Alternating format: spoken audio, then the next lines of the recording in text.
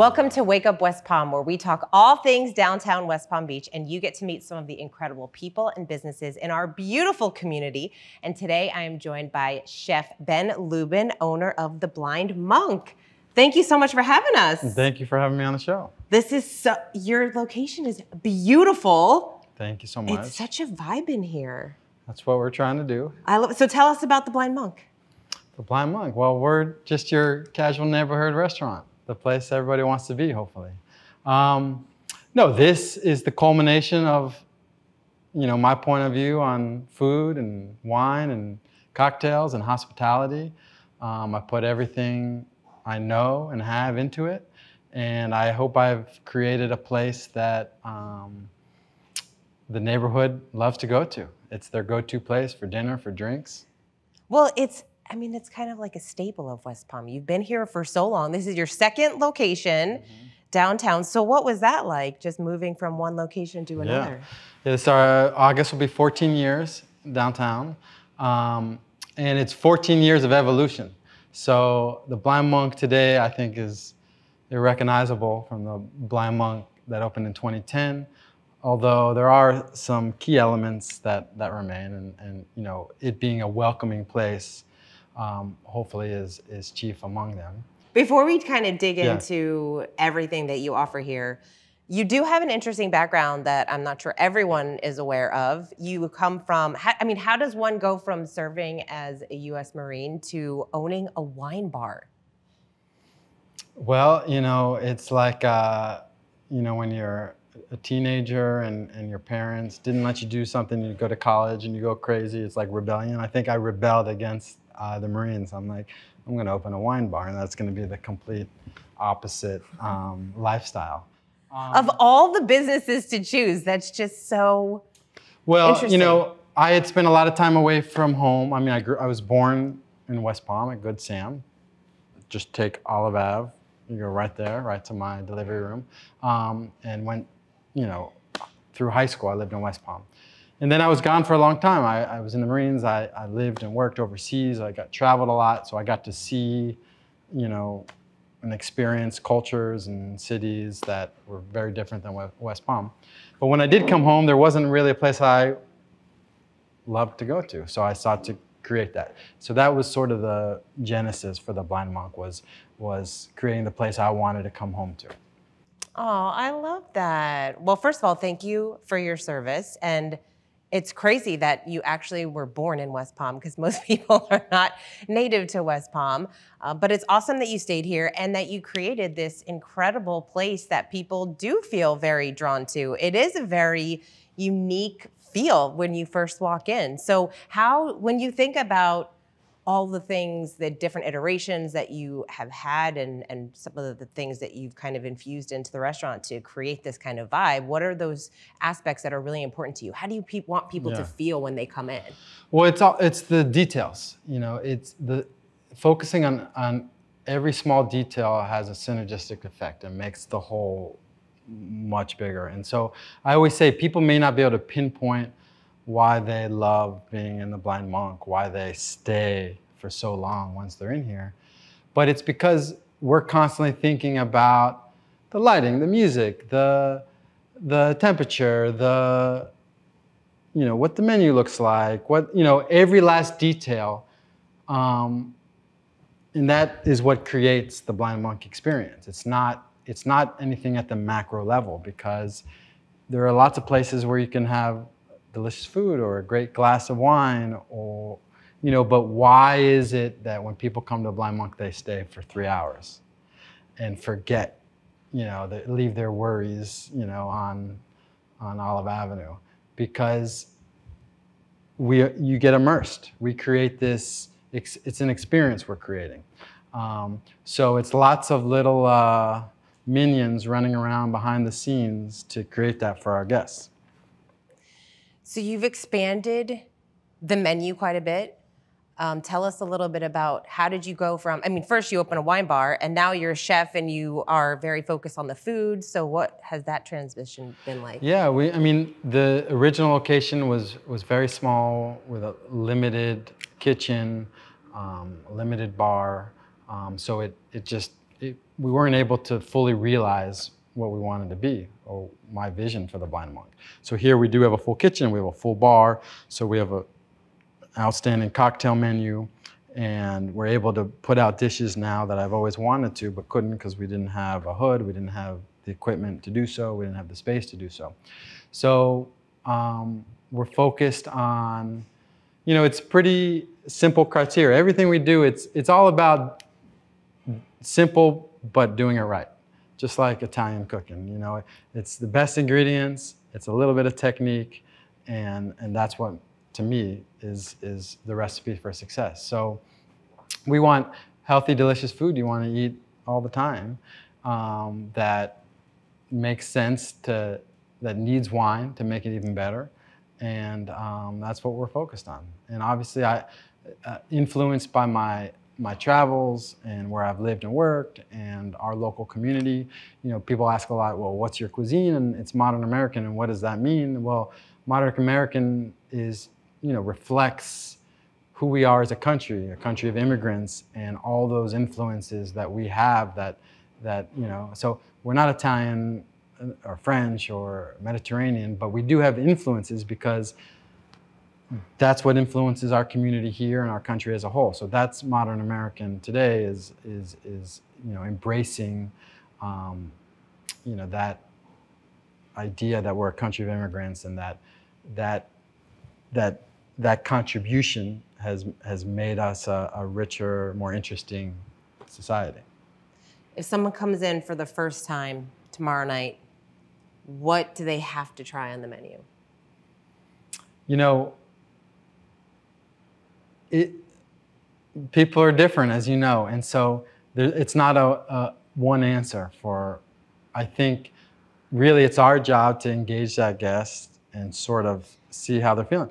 Some days you want, you know, you know, a spicy tequila drink. Other days you need a, you know, something with bourbon and old fashioned. The time of day you come, you know, matters. Sometimes you want a spritz.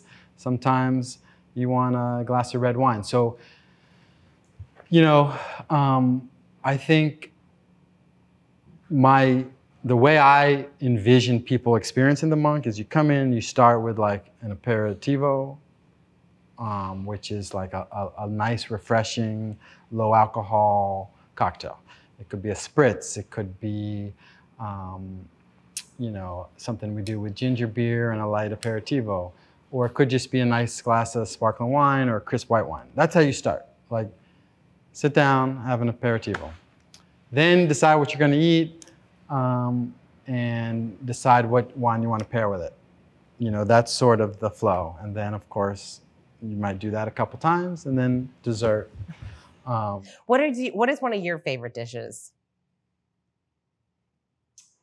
What's my, my, you know, I like the newer stuff because some of the classics we've been making for so many years that I, um, but I we just put on a lemon anchovy spaghetti that I love. It's simple, um, but full, briny and lots of lemon and and just um, just like screams summer and coast um, and pairs nicely with with one of our many acidic white wines. Um, I love our roast chicken salad. It's just a um, roast chicken breast on a, on a crisp salad with carrots and cucumbers and peaches and manchego cheese. And so it's. Um, that sounds nice and light. Yeah, nice and refreshing. Um, How do you select? Okay, so I feel like there's yeah. so many wines to choose from. Yeah. How do you select which wines to even yeah. carry here? So yeah, the wine world is is huge, and you have to have a, a way of sort of narrowing it. And so we do have a wine point of view. And for us, it's about only sourcing wines in which the grapes are grown sustainably. And oftentimes that's organic, or it's biodynamic, or it's practicing. And then it's wines that are made with minimal intervention by the winemaker. So the winemaker is just, you know, playing, uh, you know, a very small role in turning those grapes into wine.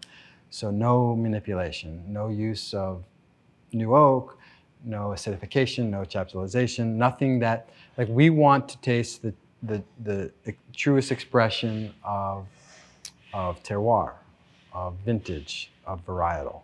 And so that helps us narrow our focus.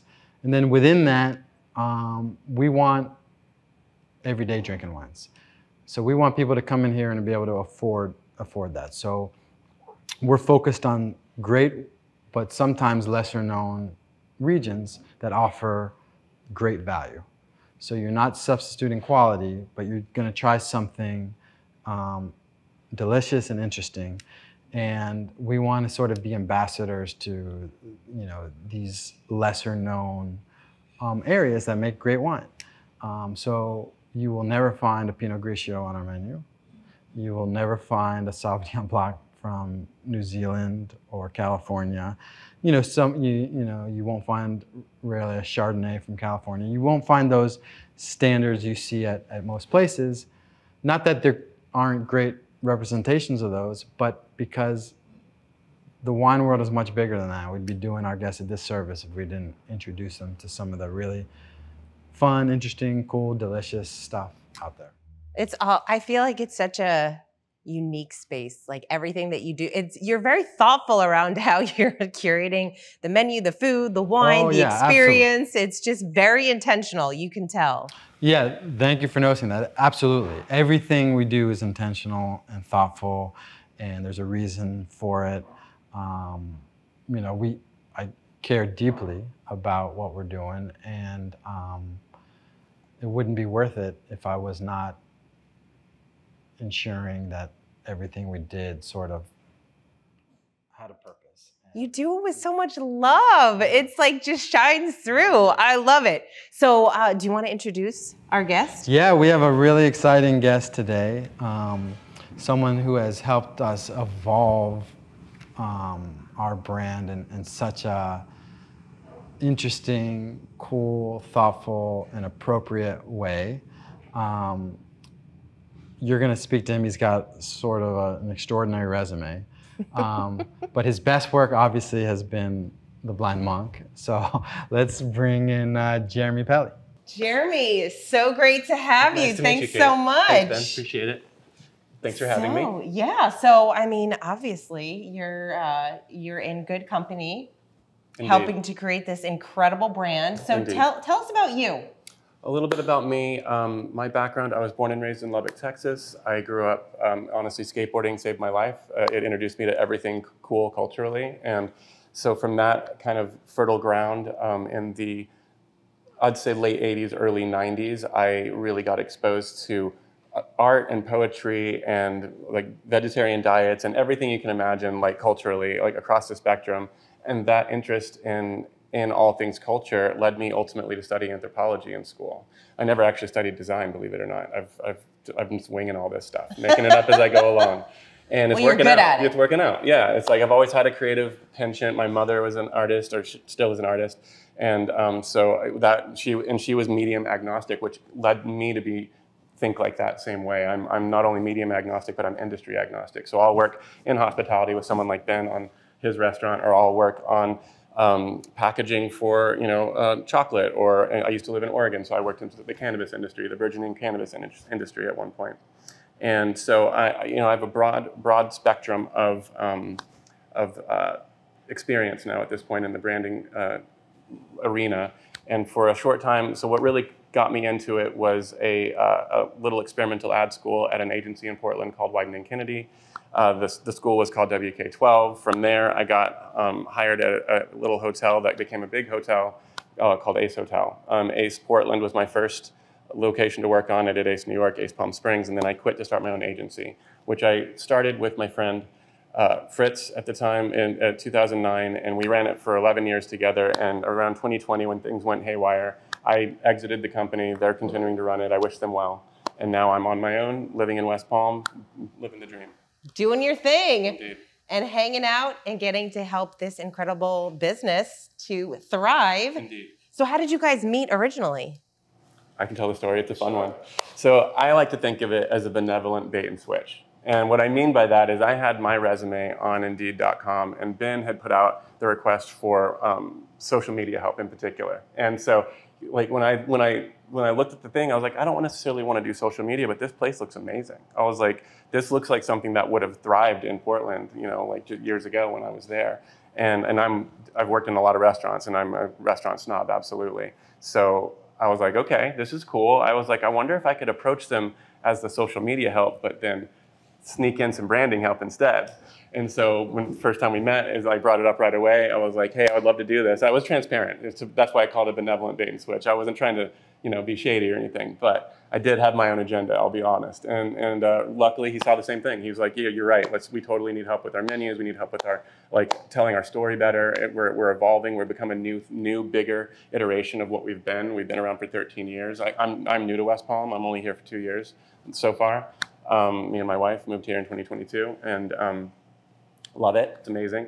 And um, yeah, so I, you know, I, I, was grateful that he saw eye to eye with me right away. There was no, you know, confusion around like how we are going to work together at that point. And um, so the rest is history.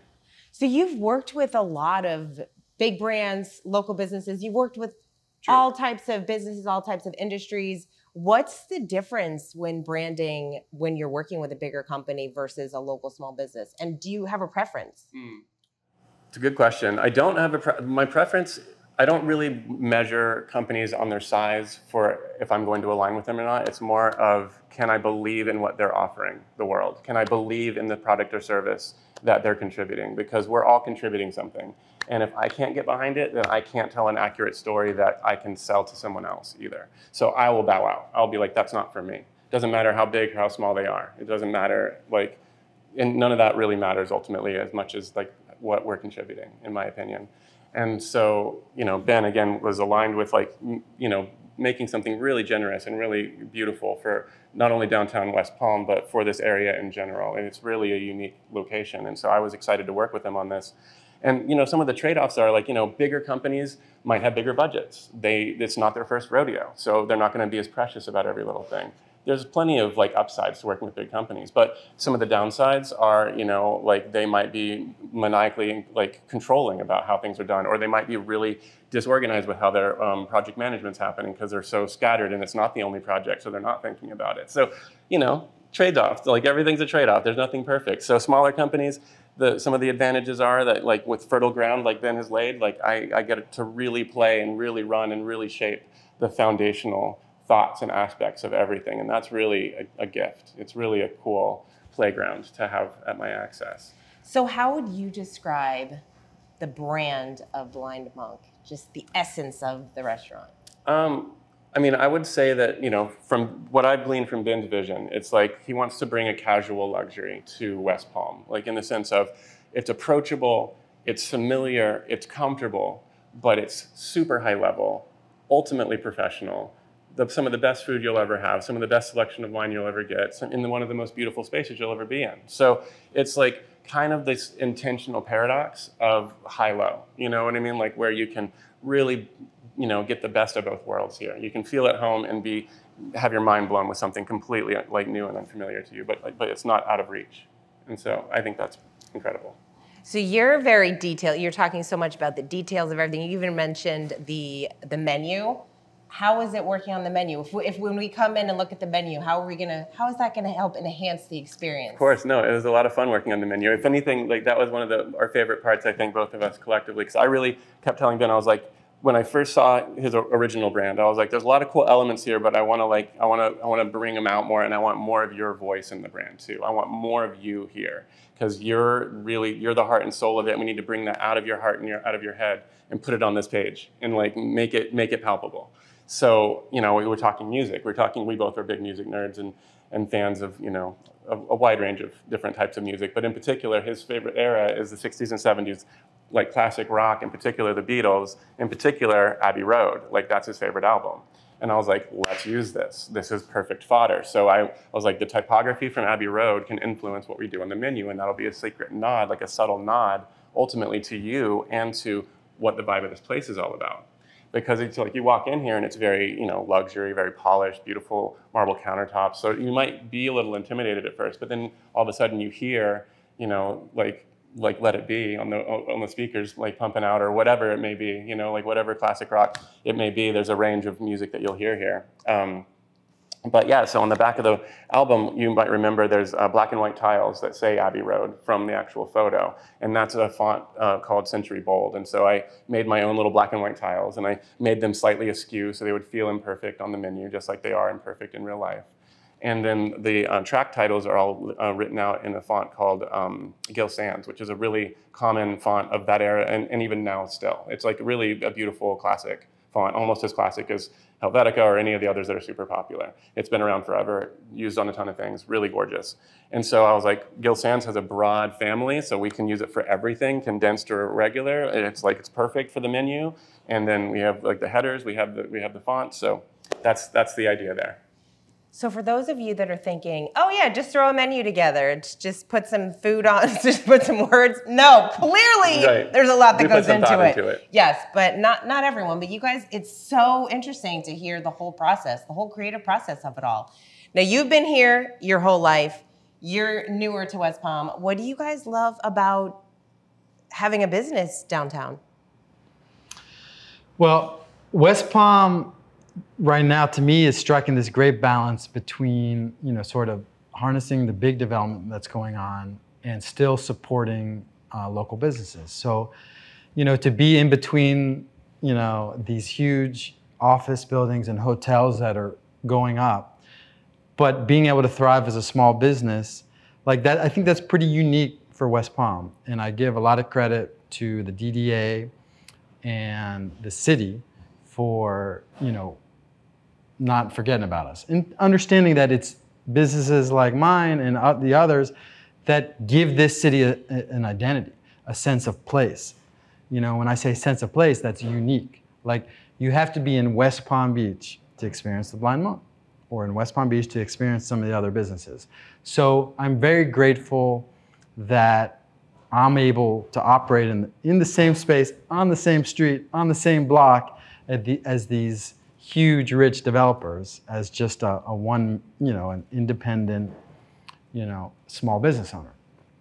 Um, I also love the accessibility of, of, of this, you know, like even though this city is growing, it's still a small town feel, and like especially downtown. Like I know if I need something or need help, I know who to go to, and it's a phone call or it's a it's a five minute walk away, and, and, and that's still still like that. And so um, it's great, especially in the winter. Hear that, definitely. And you've been all over the world. You've traveled to some really interesting cities, but you chose West Palm to call home. It's Why? true. Uh, I mean, it's it's you know hard to not be happy living in paradise, right?